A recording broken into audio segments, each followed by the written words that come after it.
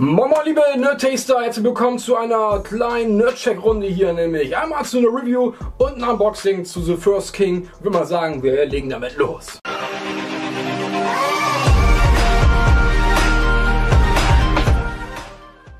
Ja, seit dem 15.11. ist dieses Blu-ray Steelbook hier erschienen im Handel, läuft aber schon seit 8.11. im Handel unter der DVD und den digitalen Versionen.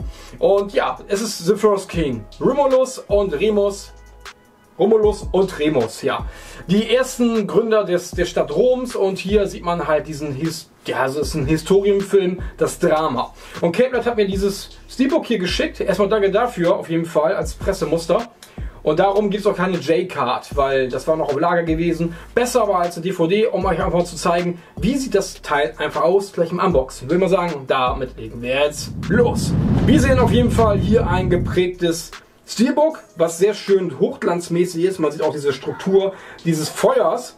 Und man ist, das Schwert ragt hier raus und das ist, glaube ich, im Film war das Romulus gewesen, den man hier sehen kann.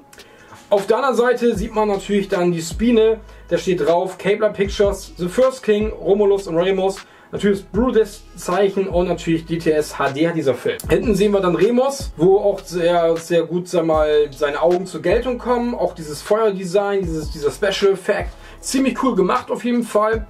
Im inneren Bereich können wir reinschauen. Da sehen wir, was ja viele auch schon weglassen mittlerweile, dass hier auf jeden Fall was zu sehen ist. Da sehen wir dann natürlich ein, ein Cover im inneren Bereich, diese Innenseite, wie einen, ich glaube, ein Gehirn hält. Das ist ja Romulus hier. Und die, der Film ist natürlich auf 18 Jahren. FSK 18. Hier ist die Disc drin und dahinter befindet sich dann ja auf jeden Fall auch nochmal einmal dieser Wald, wo sie halt dann im Film durchspazieren, wo es dann halt zu Konflikten kommt, wo ich dann noch weiter drauf eingehen werde. Kurz zu den Fakten. Regie hat Matteo Rovere gemacht. Italienische Produktion ist es auf jeden Fall. Und Schauspieler, den man ein bisschen bekannter kennt in diesem Land, ist Alessandro Borghi. Ist natürlich ein Historienfilm, ein Drama. Und da komme ich nämlich auch jetzt dazu. Auf jeden Fall kann ich dieses Steelbook an sich wirklich von der Qualität her schon mal empfehlen. Ist der Film aber auch empfehlenswert? Das ist nämlich jetzt hier die Frage. Ja, es dreht sich halt um die beiden Brüder, die eigentlich, sag mal, ja, sie sind irgendwie Schafshirten und werden dann durch eine Flut weggeschwemmt. Natürlich gibt es in diesem ganzen Film Konflikte. Konflikte, wie es halt damals war in diesem Bereich. Es war rau, es war, sag mal, das ist auch dieses körnige Bild. Bild ist auf jeden Fall sehr zu empfehlen. Haben sie wirklich gut hinbekommen, die von Cape Light ne, Pictures. Das ist auf jeden Fall sehr empfehlenswert, der Ton auch. Wenn es natürlich die Flutwelle kommt, man hat ein schönes Surround-System, dann haut euch das auf jeden Fall die, den Ton und den Sound um die Ohren. Dann kommen wir mal kurz zu den schauspielerischen Aspekten. Die muss ich sagen, haben sie gut gemacht. Wenn manchmal auch ein bisschen zu viel, wie es auch im spanischen Bereich ist, hier natürlich auch im italienischen Bereich, diese Dramaturgie, die ist manchmal so ein bisschen auch, der Film hat an sich so ein bisschen Probleme mit dem Pacing, braucht teilweise, es wird viel zu viel erzählt, die zwei Stunden, sag ich mal, zwei Stunden sieben geht der, dieser Film. Man merkt es einfach diesen an. Und das hat so ein bisschen den Fluss ein bisschen gestört. Fand ich ein bisschen schade, weil an den Szenen her, wenn das wirklich dann zur Sache kommt, ist das wirklich sehr rau, sehr blutig. Deswegen FSK 18 ist auf jeden Fall sehr gut, äh, sag mal, schon dargestellt es ist zeitnah zu diesem Thema halt, diesem Historiendrama halt.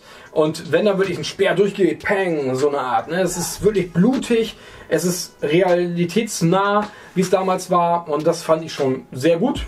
Kann man das erstmal hoch anrechnen.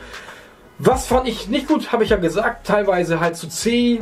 Ähm, manchmal so, ja, man merkte halt, dass die Schauspieler dann so von, von wirklich mittelmäßig halt bis solide agieren. Und das ist okay, aber ansonsten sieht man eigentlich nur halt die Anfangssequenz, wie die beiden dann weggeschwemmt werden, dann eben halt so zu Gladiatoren werden sollen, die sie dann durch die Wälder da gehen, wo es dann teilweise ziemlich langweilig wird. Aber wenn man wirklich so auf sowas steht, ich sag ja, schlecht ist es nicht. Es hat auch Spaß gemacht, diesen zu schauen.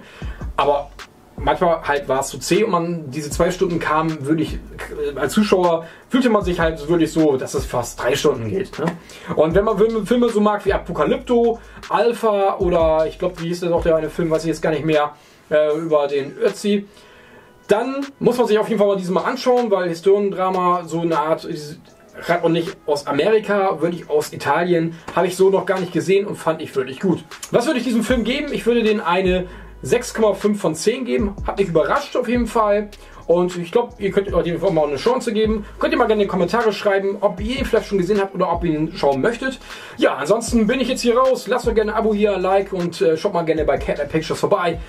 Bis dann und ciao und bam.